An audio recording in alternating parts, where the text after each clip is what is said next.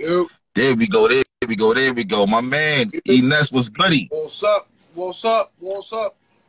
Salute. Man, chilling was good, man. Fresh off his battle versus Mackk Myron. Talk to me, man. How you feeling about the battle? It's a good battle, man. It was like um I've been in a lot of dog fights, but Ness versus Mackk Myron, not not not to give up too much, was one of the Mhm. dog fight, man. It was real dog on both sides. It was like great moments, but it got to be a winner. And I'm I'm two one, first and second. First and the second, you won. Are you saying that confidently, or are you saying that because you got to say you won? no, confidently, without without no prejudice, no disdain, nothing. Two one. First, like I had it in the bag. My man, Sweaty Murphy, man. crazy second round, I just I matched that intensity and upped it. okay, Right, okay. and the energies was. His second round was so. So was- was the second round the best round of the battle? Let me tell you, it was so much energy in there that you know I don't know if you know Big K and um Forty Cal. They had like a you know a little issue with time. Okay. our battle was so electrifying, niggas didn't give a fuck. Like they just was letting us go. Like real shit. Oh wow. So y'all was y'all both went over the time limit. Both. The clip I got Okay. my page right now, that's like the start of the um third round. But the clip before that I put up yesterday, that's like the end of the second round. And that's two minutes long. The rounds was only two minutes. Oh yes, y'all was going crazy over there. Okay. Okay. My man, Sweaty Murphy. That's what I'm talking about, bruh. no, but That's what I'm talking. Mackk was in there Say it again. time from from the first round to the third, top to bottom, non-stop. Like this was the I always say it takes your opponent to pull, pause the best material, the best you out of you. And going Exactly. in, going into it, people was like two one Mackk, and I felt some type of way. So up until the day of, I still was writing material. So by the time we had Okay. time we had, had got the battle, I already had an extra round and a half to where I could just place it wherever I wanted to, wherever it fit. Because I knew Mackk Okay. out full throttle, and he he did just that. Any other MC, if it wasn't me, it definitely got clumped 3-0 Curry. Curry Goat by, by Mackk Myron.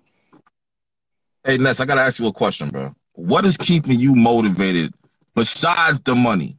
I know the money's keeping you battle rap, but like what else is keeping you motivated? Because you still here.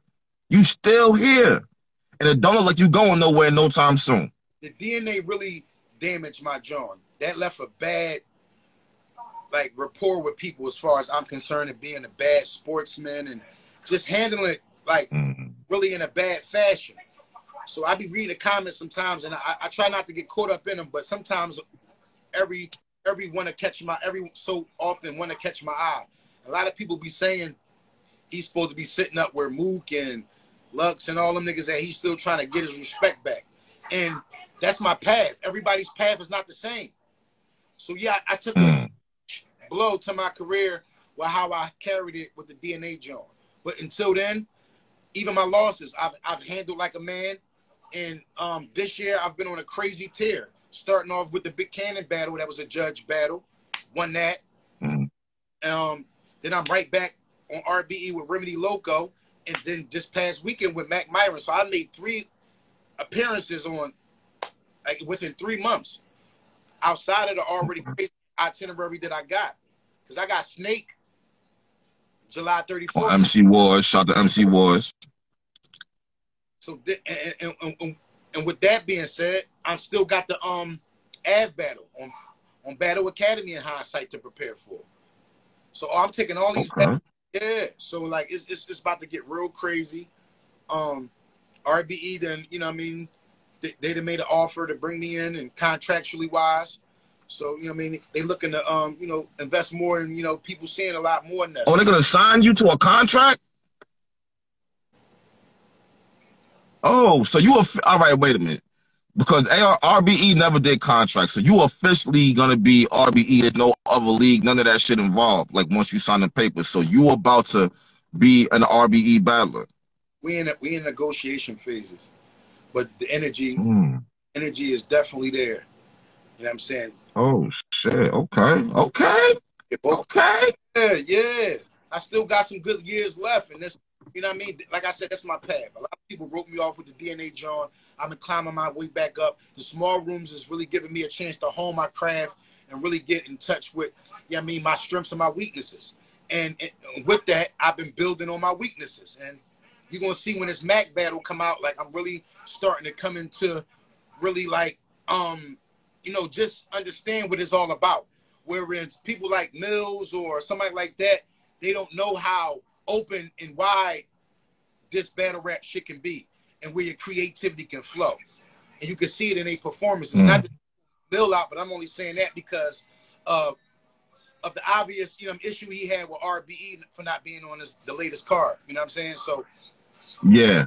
really show you can't let them see you sweat, man. You really just got to go back and reevaluate and just, you know what I mean? If you really want to do this, you really got to put some time behind it. Like you only gonna get out of it what you put into it.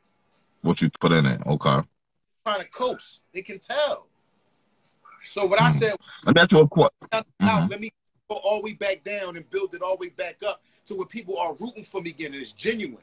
It's not, oh, he one of them niggas just in a way. No, it's genuine. Niggas see it in my eyes every time I perform. Whatever opponent, maybe at mid tier, top tier, mid top tier, whatever. I'm going there and giving 110% every time. Yeah, you know what's crazy, Ness? You don't really get crazy personal with battlers. And in this era, they, they actually do that. Do you feel like that's something that you have to do, or you prefer not take the personal route really and just do your own thing? I mean, to me, uh, um, going into it, I always was on defense because of the cheesecake, the Puff Daddy thing, the bread fight. So I never really. It was always I had to end up writing pre pre rebuttals in my rhymes. So I, I mean, it was always a strategy to throw something in there to rebuttal, you know, the things that's always being thrown at me in every battle. So I never had the chance to dive deep into another uh, my opponent's personal business because I'm always trying to because I know that's gonna be their biggest weapons is you know what I'm saying the cheese The cheesecake. on the surface. So yeah, but lately I've been trying to get a little bit personal, but it's you know I mean like people don't give up information no more like they used to. Niggas give up information on battle rappers all the time, but when it comes to an E.Ness battle, motherfuckers don't be like, and I don't really like. I, I think that's cheating. Like you know I mean, like if Okay. you you got to use material. I just leave it all on the floor, the pure skill set, and um, like I said, uh, that's something I want to get into, but not so much because I've been doing all right without really being a personal battle rapper. You know what's crazy about this cheesecake shit? Is it's like I understand niggas made fun of it, but that kind of like played a big part of your career regardless. Yeah, If that shit never happened, who knows if people are talking about you as much? No offense. listen, Same with Babs. Same with all of them. they gonna say that, but they're not gonna talk about the Dave Chappelle show. Just I'm saying they they they, they got their picks. They gonna say, yo, he walked for cheesecake. Mm. Oh, he he was on one of the iconic comedy skit shows ever. They're gonna pick what they want to. Mhm. I can't control that. So, in defense to that, I just start embracing all the negativity. Go get me some cheese, cheesecake this, cheesecake that. So I got my own cheesecake. Got my own cheesecake business. Got my own cheesecake merchandise. Got my own You do? page. Yes, You got a cheesecake business? yes, Smart man. Smart man. We're in Philly? yes. Can follow it. It's about time. Can follow it on Instagram at Nest Cheesecake. At Nest Cheesecake. Should have been did that. You should have turned that into a positive. Never too late. I'm if never give up was a battle rapper. When did you start the cheesecake business? A year ago. How's it going so far? Great. We got to deal with DoorDash and everything. It's expanded. Oh shit. Yes. Okay, Ness. Yeah.